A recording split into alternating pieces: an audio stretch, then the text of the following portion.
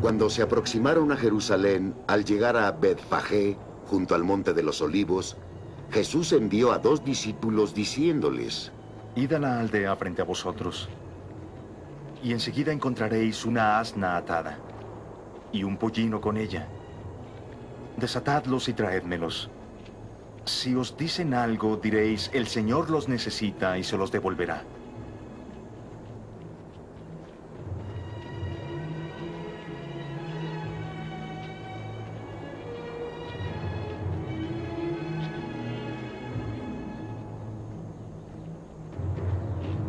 Esto sucedió para que se cumpliese el oráculo del profeta.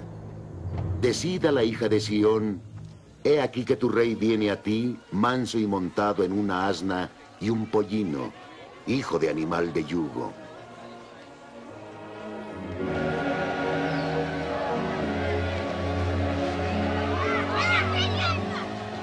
Los discípulos hicieron lo que Jesús les había encargado. Trajeron la asna y el pollino, les pusieron sus mantos y él se sentó encima.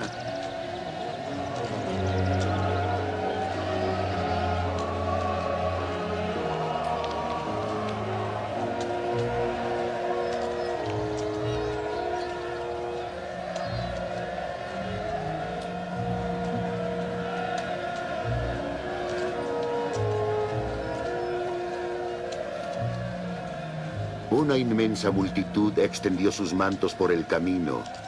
Otros cortaban ramas de los árboles y las tendían por el camino. La gente que iba delante y la que iba detrás gritaba. ¡Osana al hijo de David!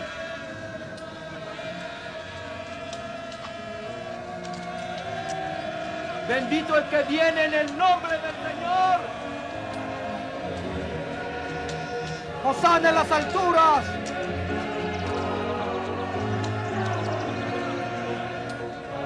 Al entrar él en Jerusalén, toda la ciudad se conmovió y decían, ¿Quién es él? la gente decía, Este es Jesús, el profeta de Nazaret, de Galilea.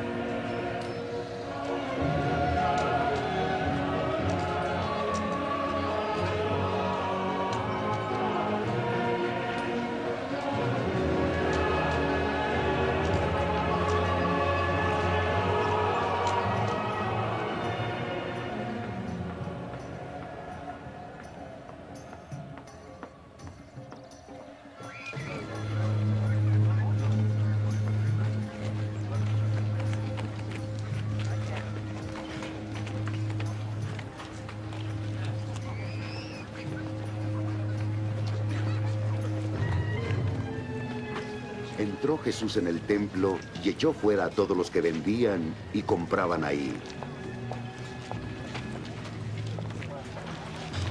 Volcó las mesas de los cambistas que ahí estaban y los puestos de los vendedores de palomas.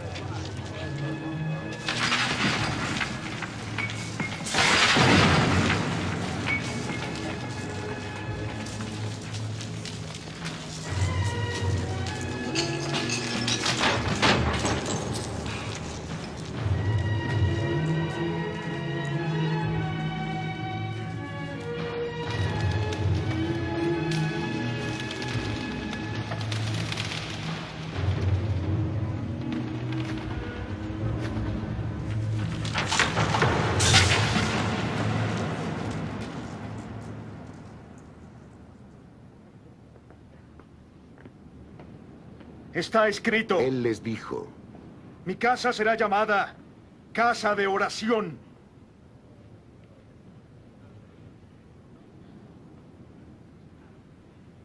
Y la habéis hecho casa de bandidos.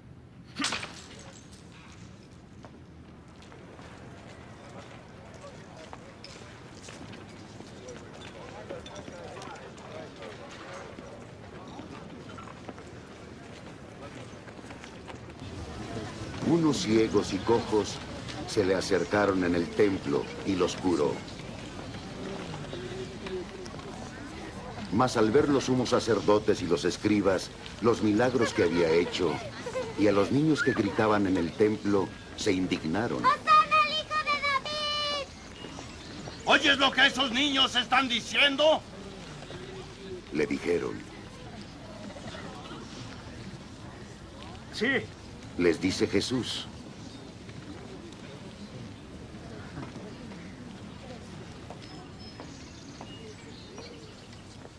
¿no habéis oído de la boca de niños y lactantes?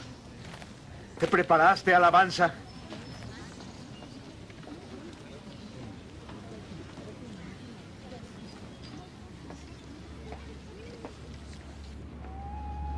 Y dejándolos, salió de la ciudad a Betania, donde pasó la noche.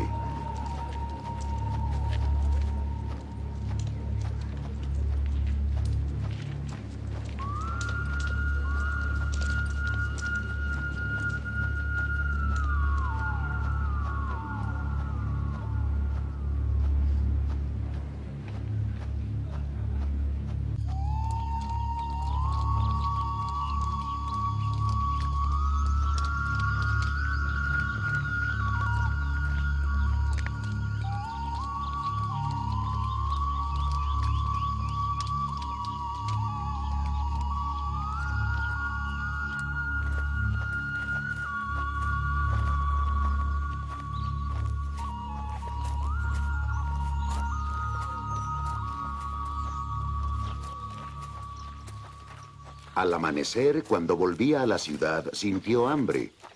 Y viendo una higuera junto al camino, se acercó a ella, pero no encontró en ella más que hojas.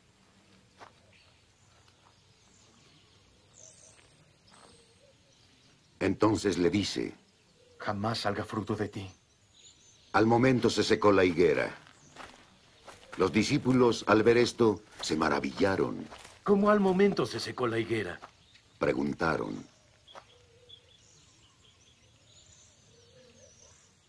Jesús les respondió, Yo os aseguro, si tenéis fe y no vaciláis, no solo haréis lo que se le hizo a la higuera, sino que si decís a este monte, quítate y arrójate al mar, así se hará.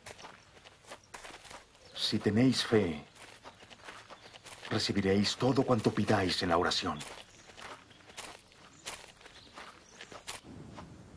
Llegado Jesús al templo mientras enseñaba, los sumos sacerdotes y ancianos del pueblo se le acercaron. ¿Con qué autoridad estás diciendo esto? Preguntaron. ¿Y quién te dio tal autoridad? Jesús respondió, También yo os haré una pregunta. Si me contestáis, yo os diré con qué autoridad hago esto. El bautismo de Juan, ¿de dónde era? ¿Del cielo o de los hombres? Ellos discurrían entre sí y dijeron, Si decimos del cielo, nos dirá y por qué no le creísteis. Y si decimos de los hombres, le tememos al pueblo, pues todos tienen a Juan por profeta. respondieron así a Jesús. No lo sabemos. Y él replicó, Tampoco os digo con qué autoridad hago yo esto. ¿Qué os parece? Un hombre tenía dos hijos. Fue al primero y le dijo, Hijo, ve a trabajar hoy en la viña. No quiero, respondió. Después se arrepintió y fue. Fue con el segundo hijo y le dijo lo mismo. Respondió, Voy, señor. Pero no fue. ¿Cuál hizo la voluntad del Padre? El primero. Le dicen, díceles Jesús, En verdad os digo que los publicanos y las rameras entrarán al reino de Dios antes que vosotros.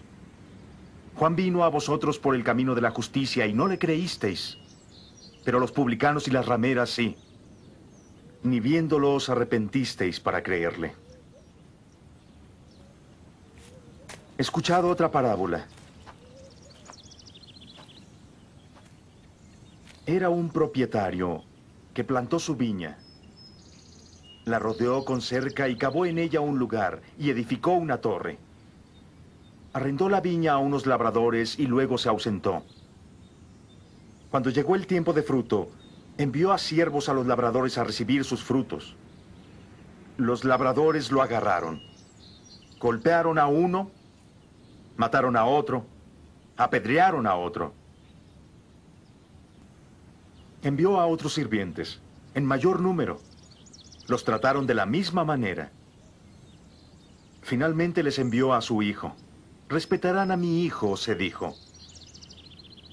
Pero al ver al hijo, se dijeron entre sí, es el heredero. Matémoslo y quedémonos con su herencia. Lo agarraron, lo sacaron de la viña y lo mataron. Cuando el dueño de la viña venga, ¿qué hará con los labradores? Les dará muerte miserable a esos miserables. Respondieron. Y arrendará la viña a otros labradores, que le den su parte del fruto a su tiempo. Y Jesús les dice, ¿No habéis leído las escrituras? La piedra que los constructores desecharon es ahora piedra angular. El Señor hizo esto y es maravilloso a nuestros ojos. Por eso os digo que el reino de Dios se os quitará para dárselo a un pueblo que rinda sus frutos. Quien cayere sobre esta piedra se convertirá en pedazos, y sobre quien cayere lo hará polvo.